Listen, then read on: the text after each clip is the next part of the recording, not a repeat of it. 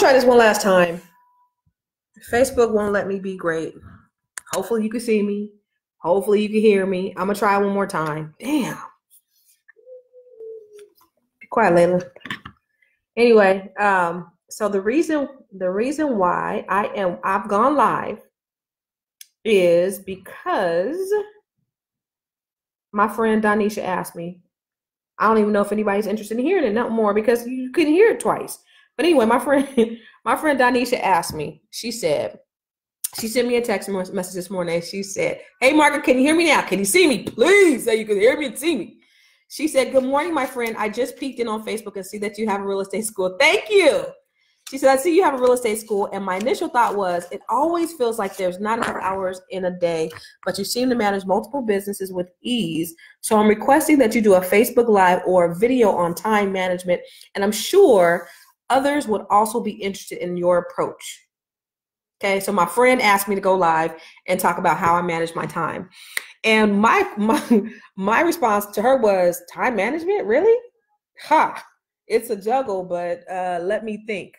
Because that is something let me pause Layla Hathaway real quick. That's something that I struggle with. Um, time management. And, and and a lot of times Facebook makes it seem like or appear that you know we get a snapshot of a person's life and Facebook will make it appear that either we're doing more than what we're doing or whatever it is that we're doing, we're doing it with ease. And, um, you know, I know a lot of people come, um, they want their real estate license. I do have a real estate school, or they would love to come and work for Catalyst because they see the parties and they see the great time we're having and they see all the fun stuff that we're doing. But what they don't see is the sleepless nights what they don't see is the hard work. What they don't see is me being the first one in and the last one out. A lot of the times, what they don't see is me, you know, locking up the doors, looking behind me, making sure that, um, you know, that I ain't gonna get mugged. You know, they don't see all that stuff.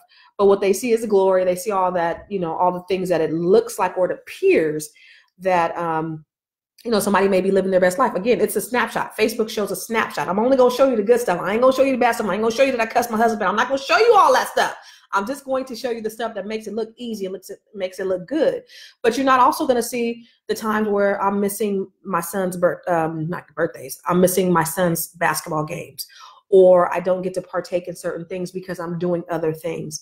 And one of the things that one of my mentors, Lisa Nichols, says is she says that um, balance is a myth, but harmony is a must and that is probably one of the truest statements that like i know that really resonate with resonates with me is that balance is absolutely a myth. Like you cannot try to do everything and then have proper balance in everything. It's just impossible.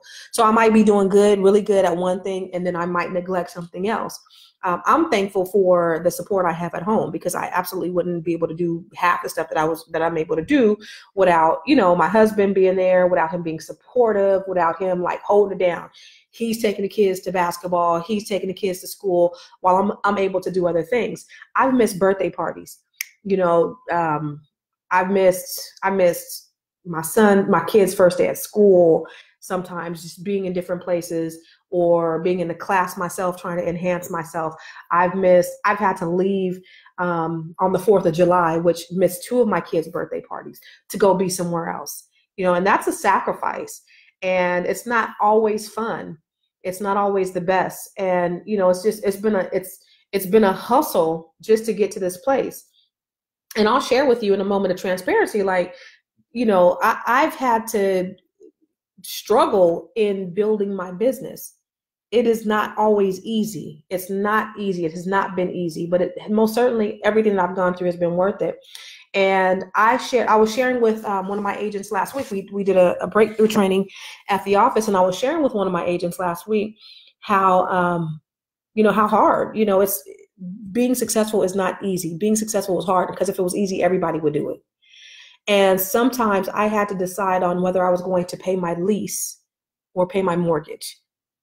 And we still have not me because the house is in my husband's name but still have marks on the mortgage today because we had to make that choice because i knew that the business was going to be able to sustain itself and it was going to be able to take care of us but having to make that decision on whether we was going to be late on the lease or we were going to be late on our mortgage payment just so we can have business have have a business because I knew you know that those were hard decisions. Um, you know, I started the business fresh out of bankruptcy. Like I filed bankruptcy in 2009.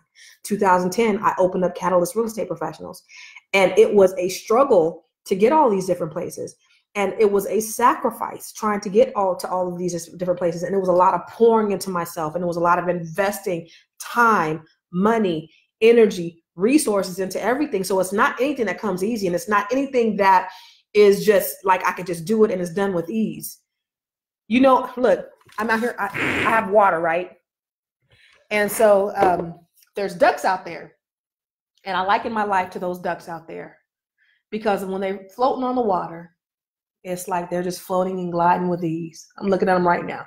They're over here floating and gliding with ease. You can't see them, right? But what's going on underneath, all that's going on underneath is what life is.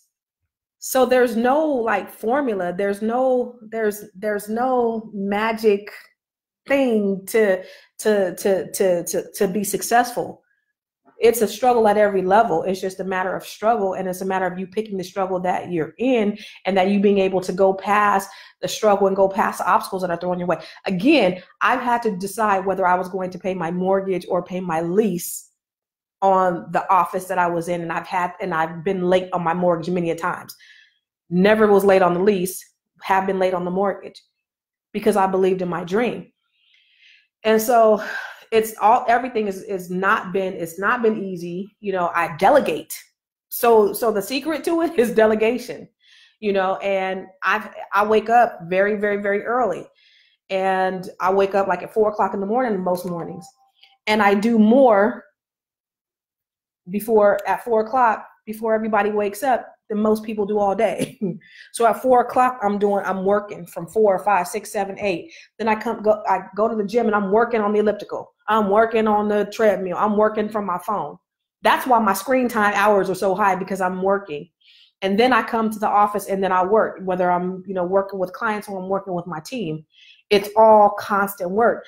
And so it looks easy because you see the snapshot, you see the turn up, you see all the fun stuff, but you don't see all the behind the scenes work that's being that's happening. You don't see the sleepless nights, you don't see the late nights. So balance is sometimes there's no balance. Time management, sometimes you just do with the time that you have. Everybody has the same 24 hours in a day. Everybody has the same 24 hours in a day. Um, but it's just a matter of what you do in that 24 hours. We got the same 24 hours that Beyonce has. We got the same 24 hours. But what does she do within that time? And the problem is, most people aren't willing to get uncomfortable to do it. Very few people are willing to get uncomfortable so that they can see their dreams come into fruition. And so it's a sacrifice. There's no magic wand, there's no magic pill that you could take to make it happen. It's just really a lot of hard work. So trying to balance it all is just in, impossible. Um, but you know, just putting people in place, showing houses. My husband, he'd be out there showing houses. He has a real estate license. So if a friend or family wants to see a house, you might be going to see a house for Warren, right? You might be Glenda might go take you out to see a property, or um, you know, I have somebody that does my the loans and stuff, does my processing and does my loan administration. Taisha's doing that for me. And then, um, you know, when I'm working in my real estate school, I have Ty teaching my real estate school. So it's not necessarily me doing everything. The things that I love to do is I love to teach. I love to help people and I love teaching. I love to, to I love to show people how to do things. But that's about it. That's about it. So, um, how do I manage my time? I don't. um, I do do a to-do list every day I do a to-do list, right? So I have a to-do list, um, and I try to accomplish as much as I can in the day. And if I can't accomplish it here, sometimes I'll take my laptop home. That's not maybe that's not not the best thing to do with my kids. Um, and I'm learning, you know. Um, Lisa taught us to. Uh, she said, have a conversation with your family and um, ask them, you know, on a scale of one to ten, what would you rate our relationship? And I asked my kids, and I'm thinking, look, I'm the bomb.com mom, pretty great. All gonna give me tens. And they gave me like eights. I, think, I don't think I got a seven, I got eights, I believe. And I was like, okay, what can I do to become a 10? And some of it was really around, you're busy a lot, mom. We love you. We know that you do this for us, but sometimes you're busy. And so I'm not perf- perfect. You know, I'm trying to figure everything out. And, um, but I'm doing the best that I can. And my husband told me one time, he said, I know that you can't give me 100% of your time, but if you can give me 100% of the 25% that you can give me, then I'm happy with that. And that's what I learned to do. So I learned to make the most out of a little bit of time wherever I'm at. So if you notice that I'm with you, I'm giving you 100% of my time. Like if I'm with you and I'm talking to you, you got me, right? And then I'm I'm over here, you got me. And so sometimes when people be like, "Oh, Constance, you don't answer your phone," yeah, because I'm engaging with something else. It's Not like I'm like, "Oh, hey, and I ain't gonna answer." I'm really engaging. So that's what I try to do with my time as well. As I try to give whoever I'm with 100% of my time. And if I'm on the phone, then I give that 100% of my time. Um, but it's all in what you do with your time. So I absolutely, uh, Margaret, will keep sharing and keep asking and keep growing and keep learning because it's an evolution and I'm not nowhere near where I, where I feel like I need to be, but I am a work in progress. So how do I balance it all? I don't. I delegate. All right. That's it. That's all I got. Thank you, Facebook, for allowing me to be great today and not, well, not allowing me to be great because you cut me off two other times. But thank you for allowing me the opportunity to speak to people today. And if you know anybody who could use this, these words, um, you know, share. Peace.